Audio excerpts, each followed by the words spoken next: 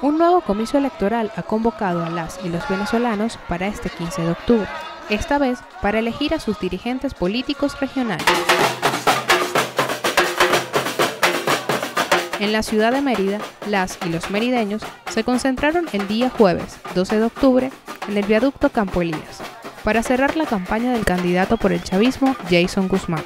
Mi nombre es Alejandro Matos, sí.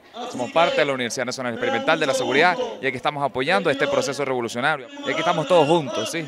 la Universidad Nacional Experimental dando el apoyo. Invitamos a todos los jóvenes, ¿sí? a todos los jóvenes universitarios a seguir aquí en pie de lucha en la revolución, porque este es el candidato que nos aporta, el candidato que nos ayuda a nosotros como universitarios y a todo aquel estudiante en el Estado de Mérida. Mi nombre es Liber Flores, vengo del municipio de Andrés Bello en representación de la madre procesadora de alimentos, el SAE. El llamado es salir a votar este 15 de octubre por la revolución, por el legado de nuestro comandante Chávez, para que sigan viendo todas las misiones, ayudando al pueblo, porque ya que si no apoyamos la revolución, viene el imperialismo, que es lo que quiere destruirnos a todos nosotros. Por eso, el llamado es a todas las personas eh, que votemos este 15 de octubre por nuestro candidato Jason Guzmán.